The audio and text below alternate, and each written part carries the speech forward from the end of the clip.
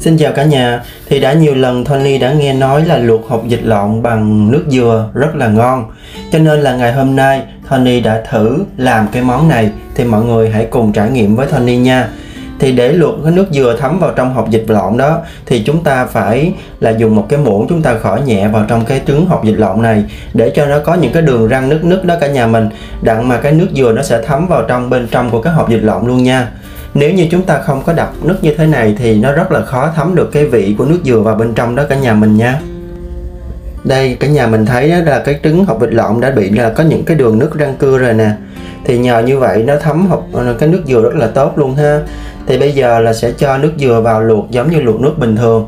Thì ờ, ở đây là chúng ta sẽ luộc toàn bộ bằng nước dừa hết không có pha nước là thường nha cả nhà sau khi luộc xong thì cái nước ở bên trong của trứng hộp vịt lộn nó sẽ có cái vị rất là ngọt. Ngọt và thanh của cái vị giống như là vị của nước dừa vậy đó cả nhà.